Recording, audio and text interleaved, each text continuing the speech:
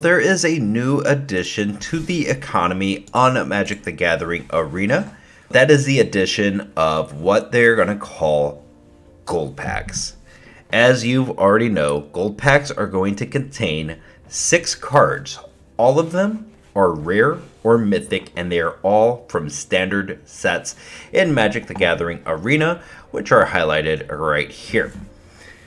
So, at least two of those cards are going to be from the most current set, which ignore this screen right now, but it's going to be Brothers of War, right? So it's going to be from the newest set, and you need to buy packs from the Brothers War or the newest set if they continue to do this into the future. There's no telling whether they will or not. It's too early to determine that. It depends on how well it does, actually, how much money it puts in Wizards' pockets of course. But being a free to play account, this is completely free to play, I have to determine whether it is worth it or not to buy packs over over drafting. And that's really going to depend on what kind of player you are trying to be. Let's look at some of the advantages of quick draft over it. A draft is 5,000 coins. You get a value of four packs and 50 gems, which gives it a total value. If you just draw, draft the rare and the first pack that you get, no more rares all the way through. Second pack comes around, you draft the rare and you draft the rest of it normally without picking up any rares. And then third pack comes around. You draft only the first rare out of that set. And then you get another pack at the end and 50 gems. That would be a value of 850 gems right? 850 for 500 coins. You have to buy 10 packs. You cannot open packs from, let's say, the Mastery Tree, these Kamigawa packs here and stuff like that, that won't count towards your gold pack progress at all. It, it, this is just going to be opening cards just on packs that you get for free. It will not count towards gold packs at all, so you won't be getting the value there. But let's say you open five of them. Well, let's say it gives you half of a gold pack. That's three rares. You get five, six, seven, eight rares, right? Which is a value of about 1600 gems. On the surface, this seems like opening gold packs is going to be superior because you just do this stuff twice 10 packs or two drafts the more more value is going to be on the surface in the gold packs but we got to think a little bit deeper than that. What else is happening whenever we're going into these drafts? Well, let's look here. Not only are you getting the cards, but look at this, you get gems. You get gems. What do gems get you? Well, gems get you, for one, the Mastery Pass.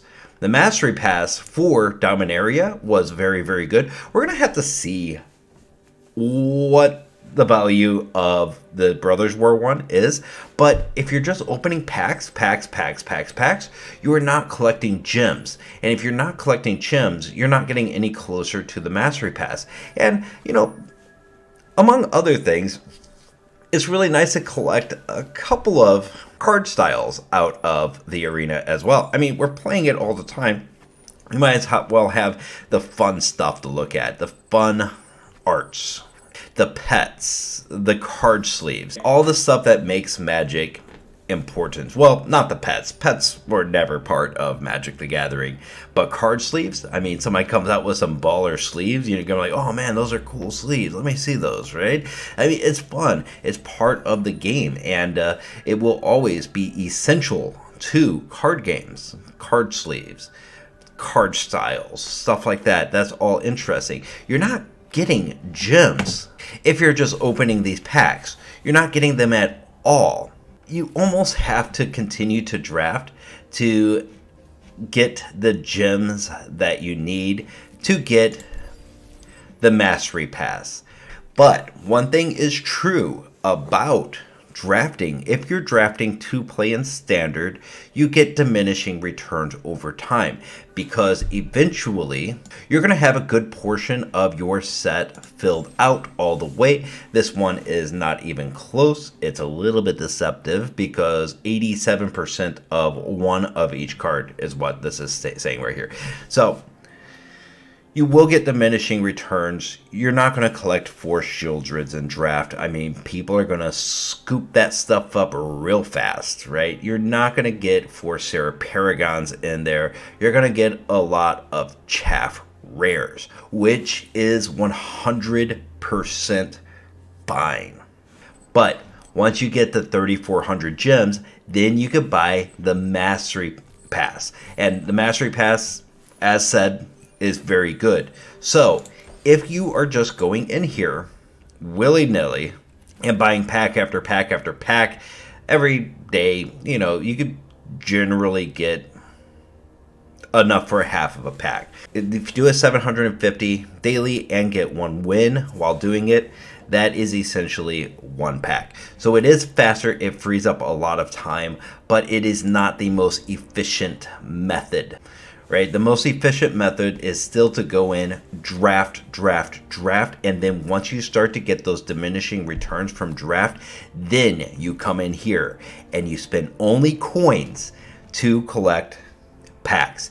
And then you can open gold packs. That is how I'm going to do it. That is where I'm going to see that value because once you get the diminishing returns from draft, coming in here, finishing out the rest of the set with buying standard packs here seems like the way to really push this forward and get it done right.